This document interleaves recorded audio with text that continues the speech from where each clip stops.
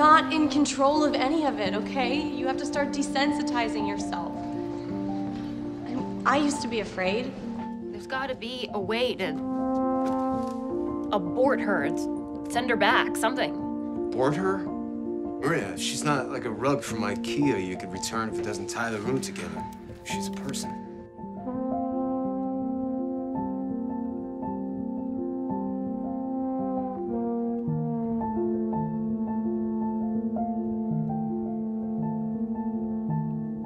Okay. Okay. You stay here. I'll be right back.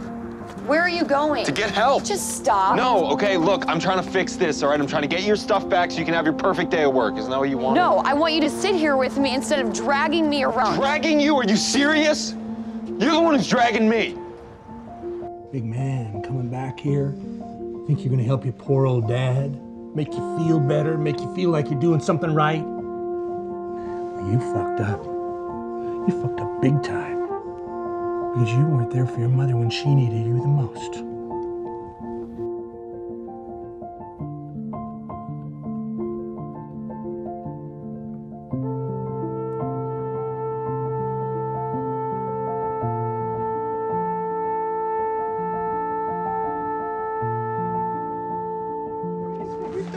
No! Come on, be a friend. Ah, Be a fucking dad. One bad thing, Eric. One bad thing, Eric. You pushed me in the street. I had to wear those casts for months. Oh, so so this is all this is all my fault. You didn't even say sorry. Take responsibility for your life, man. You're 26 years old. Time to grow up and be a man. I mean, did you think that we'd just get married and have kids and then you'd get your visa and everything would be okay? You need to grow up. You can't keep projecting all your shit on me. This is my place. Your fucking shit is everywhere. You're always here.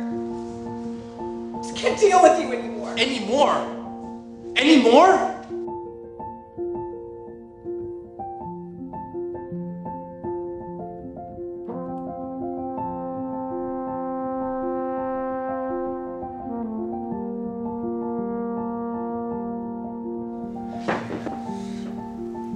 I got a surprise for us. Two tickets. New Zealand. Other end of the world, baby. Tonight. What do you say? I, I like your shirt. I guess it's kind of my lucky shirt. Well, it was. Tonight's not so lucky. How come? Friends ditched me and I ended up here.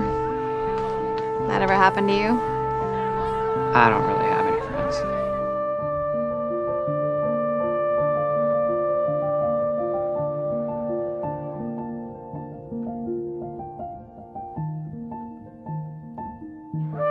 It's tough seeing those.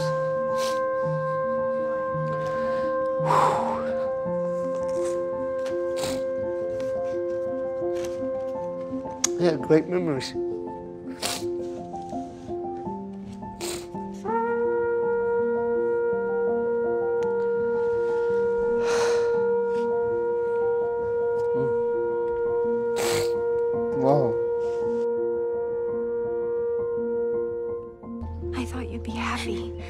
We helped your marriage.